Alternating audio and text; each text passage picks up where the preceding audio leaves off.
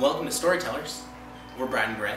Uh, we'd like to thank you all for being here with us. Yeah, uh, this next song we're about to play, you know, funny story behind it. I mean, this goes back, Man, like like six, maybe seven days ago. yeah, at least seven days. Uh, you know, a bunch of people commented on our last video, uh, our throwdown with MGM, and uh, Yeah, this one's for you guys. we hope you like it. These rockin' random words are sweet, splendid and metaphoric. They're from the dank depths of our brains and phantasmagoric.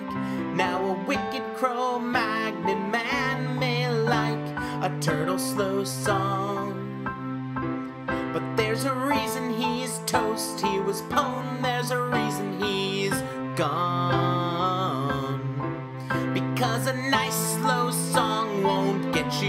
Very far. What do you say we lose the piano and bring in the guitar? The beast, he was spastic, he was dinosaur-tastic, he was made of elasticized steel. He sang supercalifragilistic, and his dance was atrocious but real. It was for a hot senorita from the magical theater. The swine had wanted to meet her since June. Everyone was under her thumb when she took off her sun glasses and looked at you. But he was so under footsies with the chocolate and cookies that she went out and got a retainer. On a man from the panorama, never yeah, always yes, mammy was a cucumber farmer and a power slide trainer. What an ace! Oh, don't you know? Girl like a quark. She had so many flavors.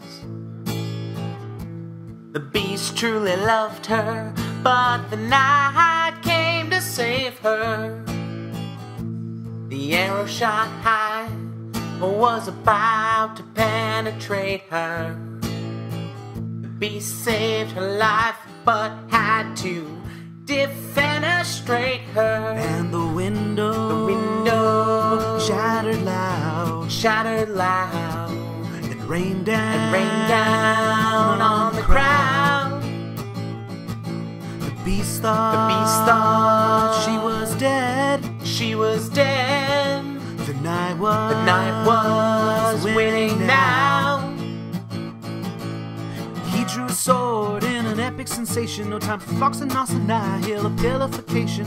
Except for this verse, the knight was in utopia. Stupid hippopotomonstrosesquippedaliophobia. Gave aloud, hooah! The beast screamed, Is this legal? The knight sword hit, and the beast turned into an eagle.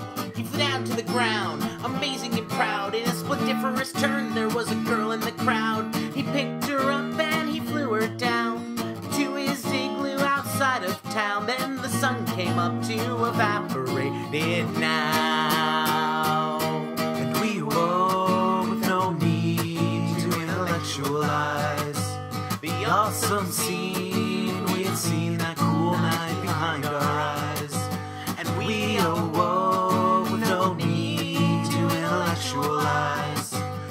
The awesome scene we had seen that cool night behind our eyes. And we We awoke with no need to intellectualize the awesome scene we had seen that cool night behind our eyes. Thanks for being with us. Have a good night. Hey guys, Brad and Gray here. Thanks for watching. If you liked it, hit subscribe. Oh, also, don't forget to uh, vote for us in the YouTube NextUp competition. You can do that by clicking the link in the description bar below Uh, and if you can't find us, just search for Brad and Gray. under the NextUp program tab. Yes.